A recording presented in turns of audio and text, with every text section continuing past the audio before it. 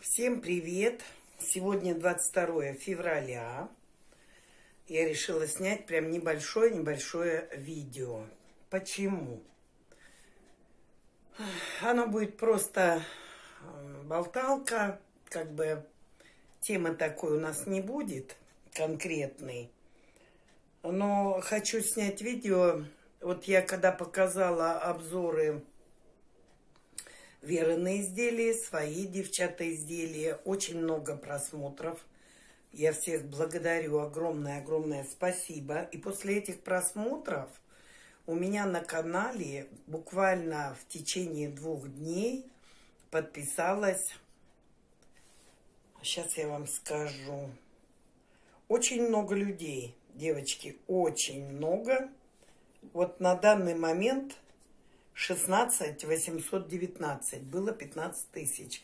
Это 1800 к нам пришли на канал новых людей. Я хочу немножко рассказать о себе для вот этих новеньких подписчиков. Вот. Канал мой называется Татьяна Беликова. А то там был такой вопрос, а как вам попасть на канал? Нажимайте на имя, фамилии, это и есть канал. Там будет выйти можно главная страничка и слово видео. Нажмите на видео мышкой, и там перечень всех моих видео. Видео очень много. И есть плейлисты. Э, кто со мной уже давно, те люди знают, что живу я во Владивостоке, мне 61 год. Я родилась в 58 году в Саратовской области, город Красноармейск. Районный город. Небольшой, но очень хороший. Я там прожила 18 лет, и в 18 лет я приехала во Владивосток. С той поры, с 1976 года, я живу во Владивостоке. Я и моя сестра – Здесь у нас образовались свои семьи, родились дети, и мы проживаем безвыездно здесь. Ну, в гости только ездим на родину, и все. А, в 80-м, ой, в 78-м году у меня родилась первая дочь. В 80-м у меня родилась вторая дочь. Третья дочь у меня появилась в 2011 году, когда мне было 52 года. Кто хочет узнать информации побольше, как у меня появилась третья дочка в 52 года, то я вам посоветую, я не буду сейчас тут рассказывать, я вам просто посоветую, есть плейлист – моя жизнь с ребенком. И там стоит видео, есть. Дорогие мои подписчики, давайте с вами поближе познакомимся. Я бы вам посоветовала посмотреть это видео, и вам все-все станет понятно. Вот. Мы живем в своем доме. Я уже сказала, во Владивостоке. Я живу с дочкой вдвоем. Мужа или папы у ребенка нет. Вот. Ребенок у меня находится под опекой. Я этого не скрывала никогда и не буду скрывать. Вот. Но я опять же хочу сказать, что ребенок у меня появился, когда ей было шесть с половиной лет. И для моей веры это мой третий, третий ребенок родной, нету тут приемного, в кавычках или без кавычек. Это неприемлемо для нашей семьи. Он такой же родной ребенок, как и первые две дочери. Она, ей было шесть с половиной лет. И с первого дня я для нее мама другого имени у ней, вернее, у меня для моей веры просто нету. Нету. Ни опекун слова, ни бабушка, ни приемная мама. Этих слов в нашей семье нет. Я родная ее мама. девочки, ну не мне же объяснять, что не тот родной а, человек, который дал жизнь. Да, была би биологическая мама, которая дала ей жизнь. Но родная мама та, которая вкладывается в ребенка, вкладывает свою душу и любовь, и та, которая воспитывает. Я думаю, с этим все согласятся. Вот. Канал, я вот, у меня уже каналу, канал открылся в пятнадцатом году, пять лет назад, но я им не занималась. Я начала заниматься каналом в семнадцатом году с мая месяца. В мае месяце я выложила в семнадцатом году первое видео, и до осени, опять же, я туда не заглядывала. Уже когда осенью семнадцатого года я выложила второе видео, вот от этого, я считаю, уже начал мой развиваться канал, девчата. Вот, канал, о чем канал? Канал, девочки, он больше, наверное, влоговый. Он канал такой о, моей жизни. Я показываю свою жизнь, свою жизнь с ребенком, так как у нас семья состоит из двух человек. Вот я и Вера.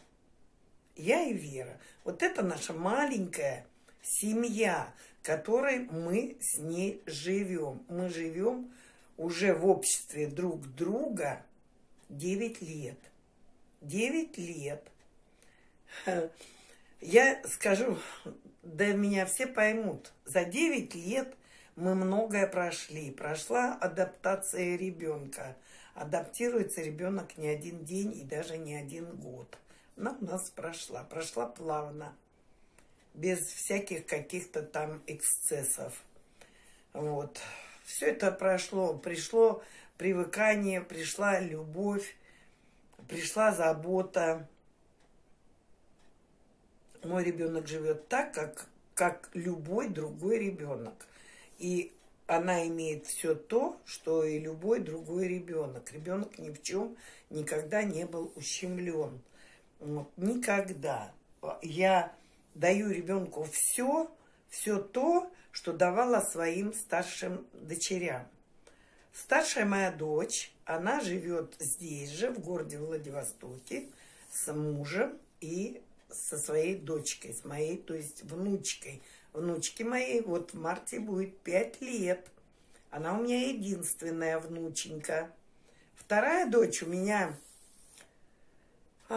живет отдельной жизнью с 17 лет. С 90-х годов она уехала, заканчивала университет в городе Донецке, в Украине. После Украины она приезжала здесь, год отработала на, э, во Владивостоке, и потом она уехала в США.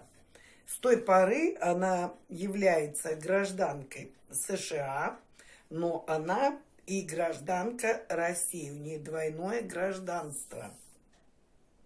И она живет самостоятельно. У нее своя жизнь.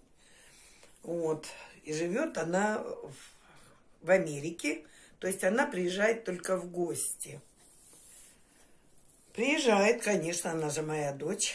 Вот. И почему я говорю? Потому что вопросы эти возникать будут. И и сейчас там промелькивают вопросы. Я вот сразу уже говорю, чтобы немножко сложилась у вас картина о моей жизни.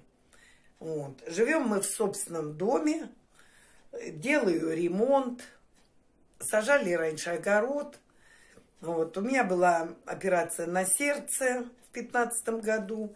Я еще сажала огород, но вот последние года у нас идут дожди, дожди, дожди, и дети мне сказали, все, бросить огород, не сажать. Поэтому упора уже на огород у нас больше не будет. Мы грядками заниматься так усиленно не будем, девочки. Я же не молодею, а только старею, как говорится. Будем отдыхать, будем на море ездить. Вот у меня влоговых много очень видео. Очень много. Но мое любимое хобби – Это рукоделие, это вязание. Я очень люблю вязать спицами, крючком. Вот если бы не мои еще глаза, подводят глаза. Вяжу я. Вот тоже вопрос, там опять же начались. Э, Таня, сколько вы вяжете? Я начала вязать в четырнадцатом году. Моя дочь ходила беременная внучкой. И я начала YouTube открыла для себя, Светлану Берсанову открыла ее канал. По ее мастер-классам я начала учиться вязать. Я самоучка, девчат. Ни на какие курсы я не ходила. Спицами я вязала, у нее училась. Крючок я изучала сама, самостоятельно. Но он мне дался очень легко, крючок. Я не знаю почему.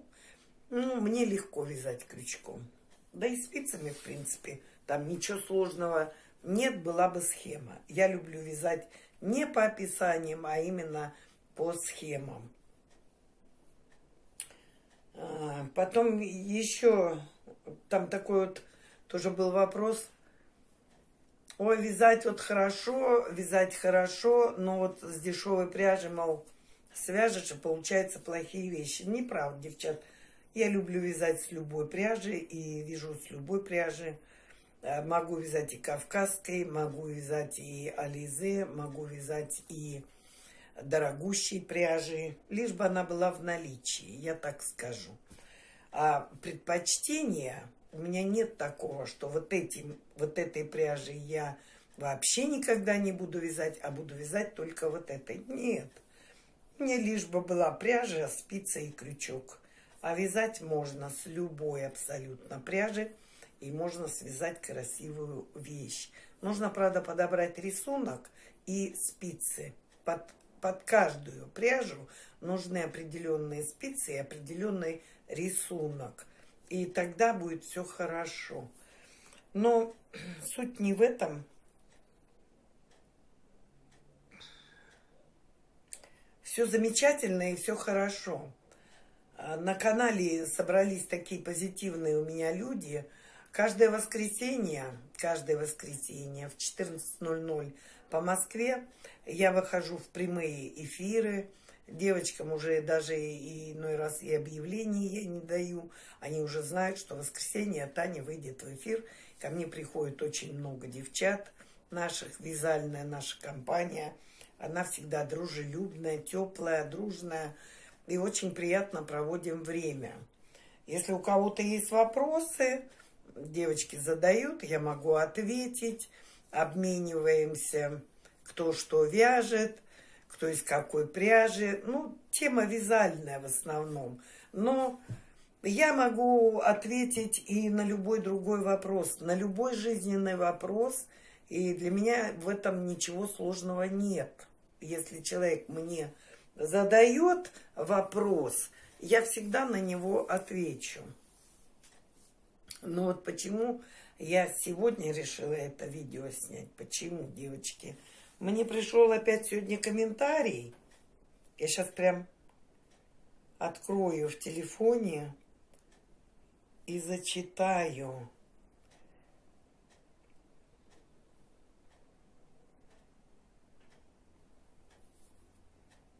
Пишет Наталья Платонова. Та не обижайтесь, пожалуйста. А, нет, не этот. Вот она вперед 9 часов назад мне написала.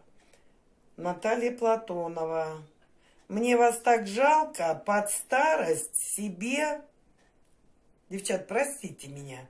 Такой геморрой с большой буквы выделила – нашла для себя.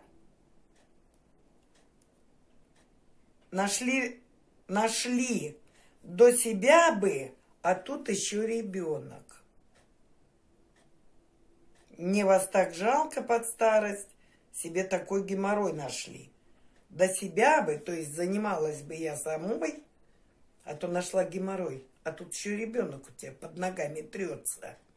Вот вы знаете, я прочитала, когда вот этот комментарий меня как кипятком ошпарило. Ну вот что сказать? Я этому человеку написала, мой ребенок это моя жизнь. Это моя жизнь. На что мне человек отвечает. Татьяна Беликова. Ну не обижайтесь, пожалуйста.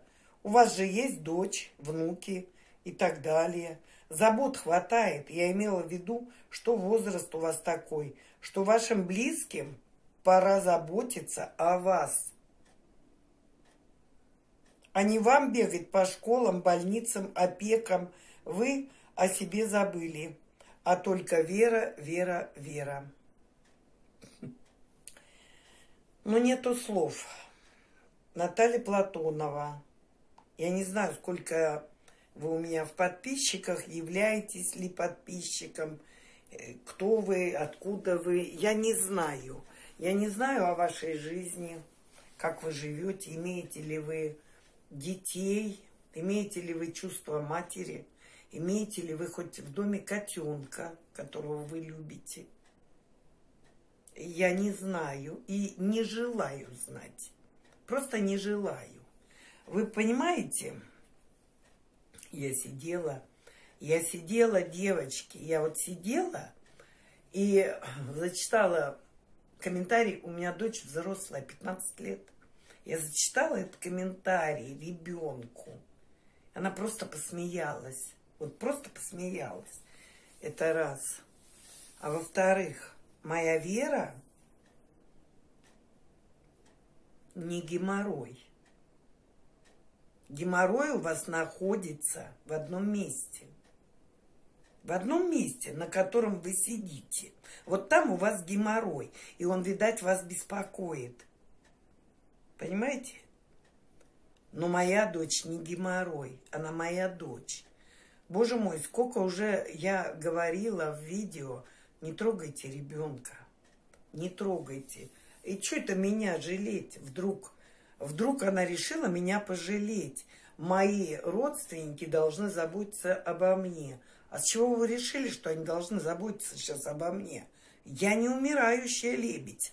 Я не лежу с памперсом на кровати, который нужно подносить супчик с ложечки или подать кружку чая. Кружку воды в старости мне будет кому подать. Я об этом не переживаю, это раз. А во-вторых, посмотрите на меня, я в здравии. Мне 61 год, я еще делаю со своими силами ремонт в доме. У меня двухэтажный дом.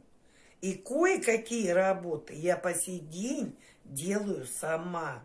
Вот этими ручками. Покрасить, побелить, заштукатурить, потолок положить. Посмотрите мои видео. Я все умею, я все смогу. И я все делаю, не дожидаясь кого-то. Где непосильная для меня ноша, я нанимаю работников. Придут и сделают, и я заплачу. А заплачу у меня двое взрослых детей, которые мне помогают всегда. Они заботятся о своей маме. Мама не работает с 45 лет на производстве. Я не работаю. Я сидела дома, занималась домом, хозяйством. Сейчас я занимаюсь своей верой. И не надо моего ребенка называть геморроем. Геморрои – это ваши. Ваши, но не мои дети. Понимаете вы меня? Это вот, это что думал человек в возрасте, когда писал это мне? О чем он думал? Он меня пожалел, не надо меня жалеть. Я на руках и на ногах своих. А когда я буду немощная и старенькая, меня пожалеют мои собственные дети. Вера, Наташа, Екатерина. Я думаю, я доступ, доступно объясняю. Девчата, вот простите меня, я уже говорила, не буду больше говорить, не буду я говорить. Но скажите мне, хоть одна мать смолчит вот так, когда ее ребенка называют геморроем. Это как можно? Я не понимаю вас. Я просто не понимаю. У вас здесь что? Вот такой булыжник или что? Или как? И почему вы решили, что мне самой до себя? Это моя жизнь. Это моя любовь, моя радость. Это все мое, все в вере. Понимаете? Наверное, этот человек никогда никого не любил. Вот такое ощущение складывается, что он никогда никого не любил или детей никогда на руках не держал, не качал, не люлюкал, не тютюшкал. Я вот этого не могу понять. Я этого не понимаю. Если вы не обладаете чувством материнства, то не надо обобщать всех под свою дудку.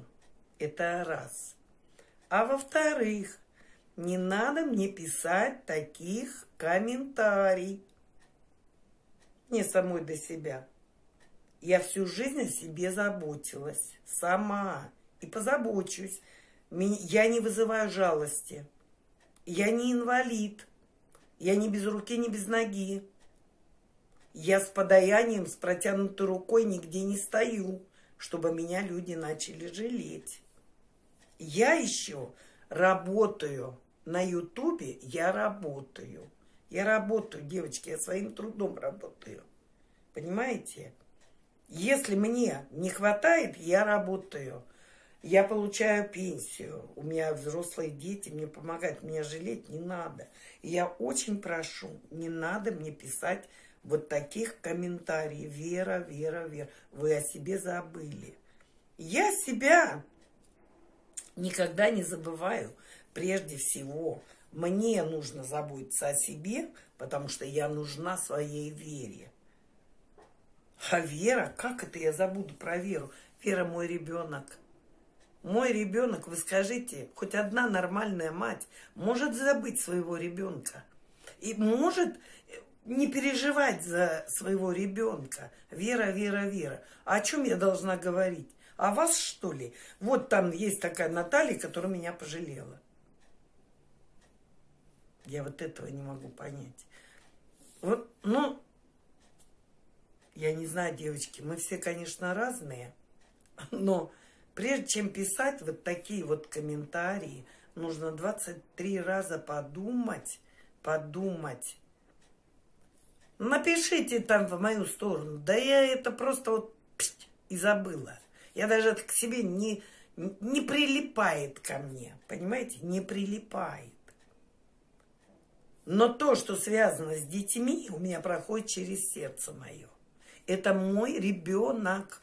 И за ребенка я всегда скажу. Я всегда встану полной грудью за дитя и буду ее защищать всеми силами, пока я живая. Вот это доходит или не доходит до человека. Ведь уже несколько было видео, несколько таких видео, где я говорила, не нужно трогать ребенка. То не так я ее воспитываю, то я ее забаловала. Вы балуете своих детей, а я буду баловать своих. Она моя, поэтому я ее балую. Понимаете? Я балую, я балую.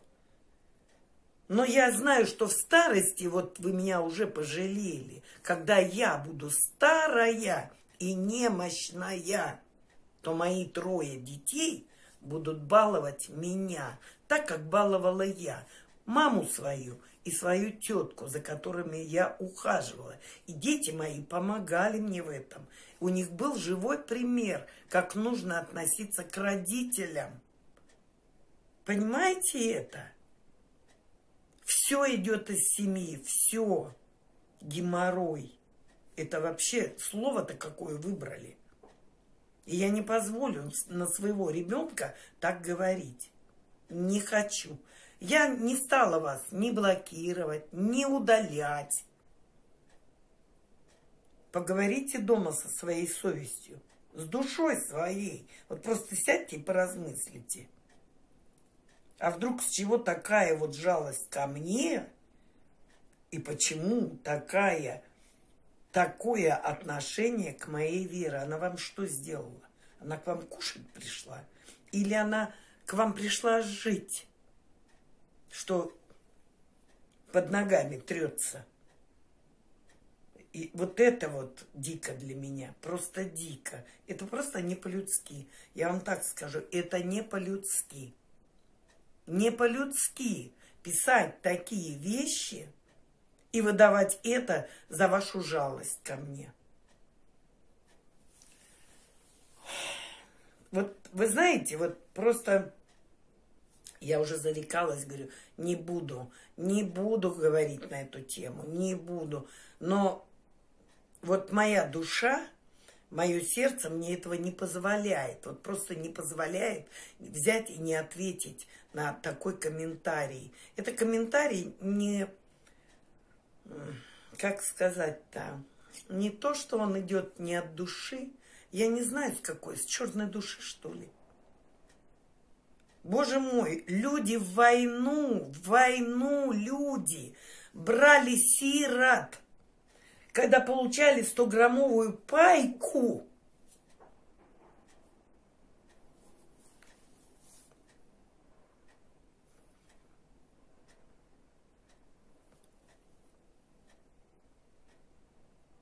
И они брали детей, сирот, свою семью, где своих семеро по лавкам, и кормили их всех поровну. Как можно такое написать, девочки мои? Вот для меня это, это настолько оскорбительный комментарий, унизительный и оскорбительный. Не хочу больше на эту тему говорить. Не хочу. Но еще раз попрошу, не трогайте веру мою. Не трогайте. Люблю, балую, разодеваю, кахаю, на руках ношу. Это мое личное дело. Потому что это мой ребенок, мой. Я ее люблю, я ее воспитываю. Она со мной, я ее брала не, не заради каких-то льгот или денег, или там еще что-то. У людей таких мыслей бродили в голове, и не у одних. Мне показывали вот так вот пальцем, ты что делаешь? Твои дети выросли, зачем ты берешь этот хомут на шею? Я отсеяла этих людей, они все ушли в сторону. Я с ними просто не стала общаться. Понимаете? И, и, вот, и вот это переходить снова вот в эту стадию я не хочу. Я уже много раз говорила. Я много раз говорила. Поймите вы, ради Бога, что нет чужих детей. Нету. И кто берет детей, они обдумывают этот шаг не, не за пять минут. И решение это принимается, но не за пять минут. Я ее не брала там до совершеннолетия или еще как-то, вот как мою крестницу сейчас взяли. Ей было 13, ее взяли. Ей ясно сказали опекуны, до 18 лет. А 18 лет ты пойдешь на улицу. Все.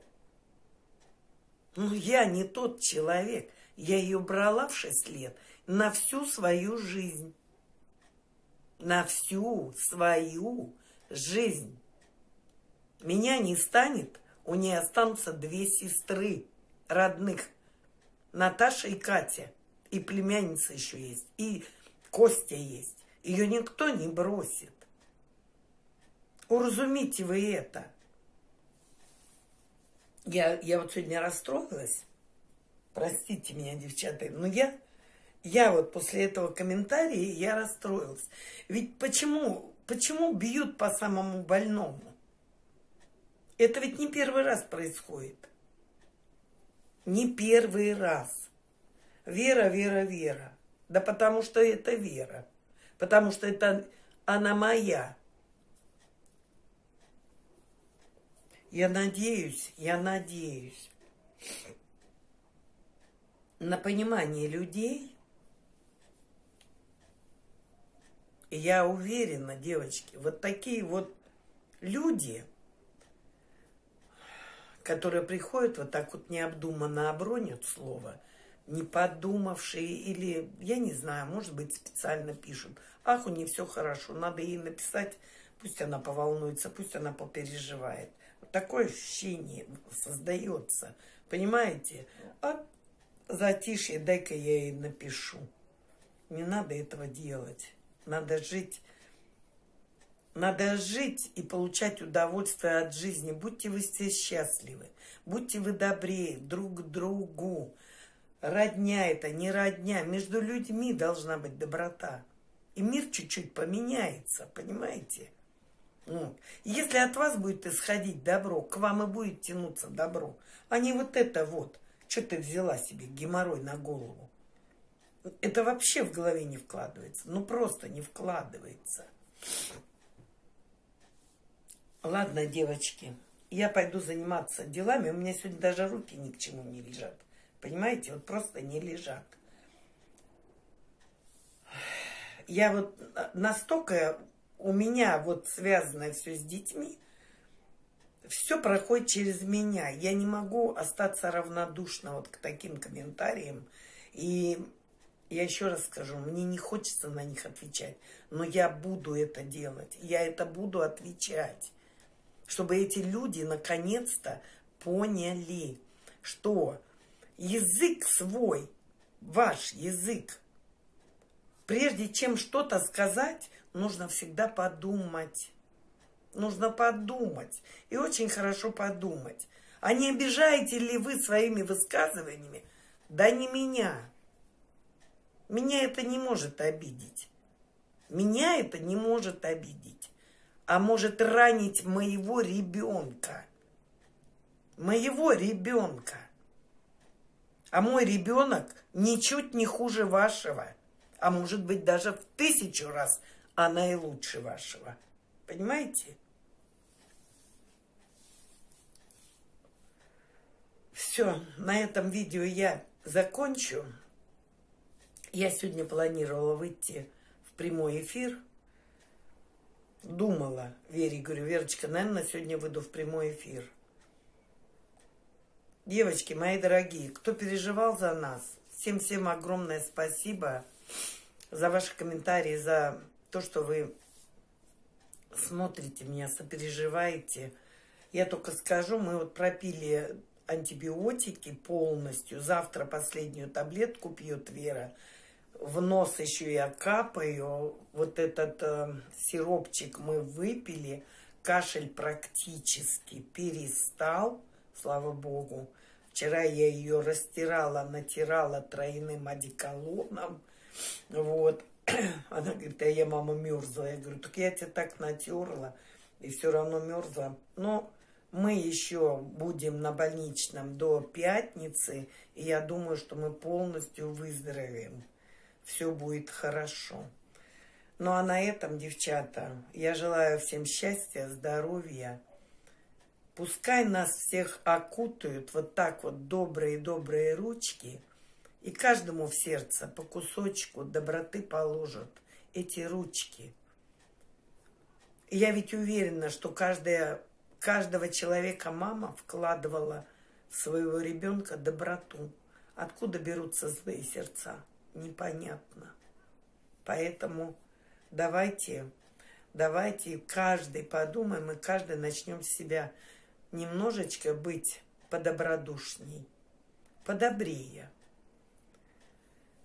На этом все, мои хорошие, а то я расстроилась. Прям вот расстройство у меня идет и все пойду чай пить и успокаиваться. Если у меня вот это все уляжется к вечеру, то я выйду в прямой эфир. Всем пока-пока. И с вами была ваша Татьяна. Пока, девочки, мальчики.